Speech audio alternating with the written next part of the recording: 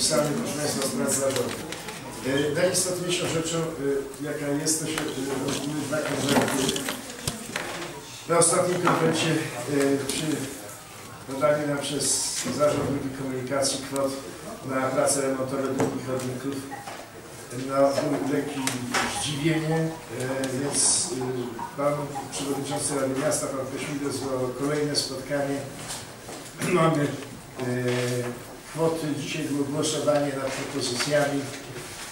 Do wyszły propozycje z algorytmu, propozycje podane przez ZIKI, e, które traktowały e, w zasadzie e, niektóre dzielnice karnie za to, że nie robiły zadań inwestycyjnych i to były niezbyt dobre wyniki.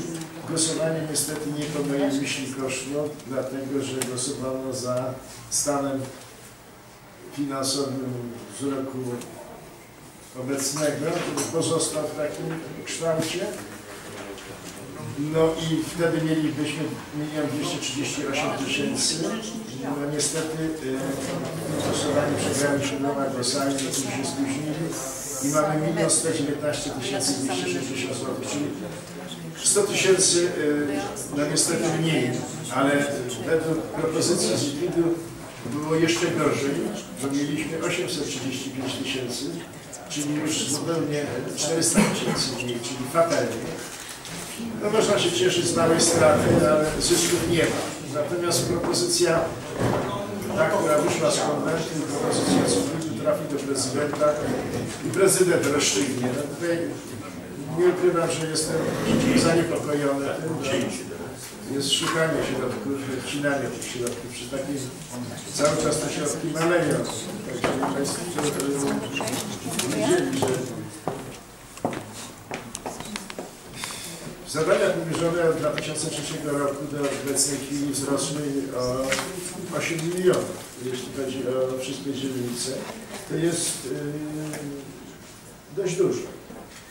Natomiast yy, no w tej chwili szukanie tych pieniędzy powoduje, że te środki spadają. Znikło zadanie już na AMEL, budowa i przebudowa ulic Gminnych Drodze Oświetleniem. Mamy tylko jedną kwotę na sprawy remontowe, które możemy również wydzielać na zadania inwestycyjne.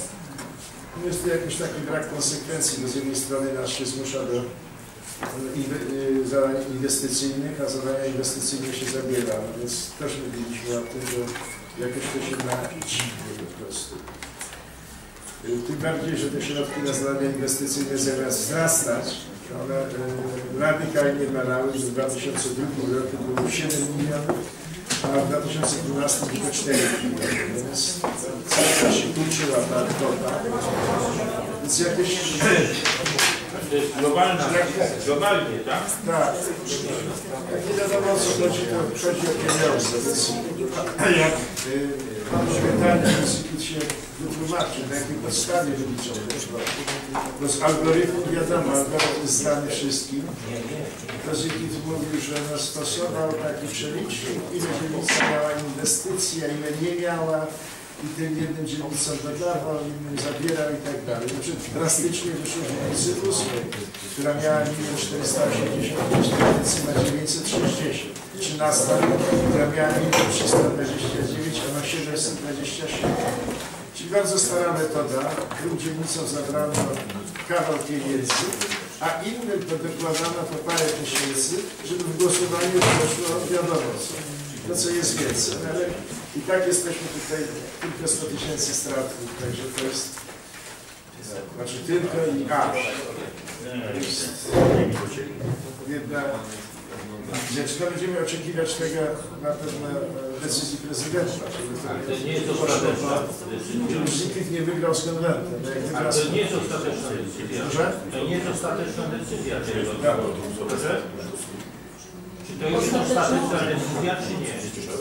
Jeszcze raz, bo wszyscy mówią, Czy to jest ostateczna decyzja? Nie. To nie jest stanowisko konwentu, żeby na tej poziomie pieniądze zostały. Były trzy wersje.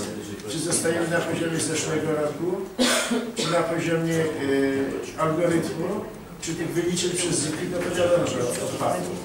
Bo chcieliśmy na tym, żeby ten y, poziom Widocznie pozostał przy tym. No ale tutaj ma inne apetyty na to, czyli ma środków zaoszczędził sobie, brzydko powiedział nadwyżka, 7 milionów 267 tysięcy nadwyżka.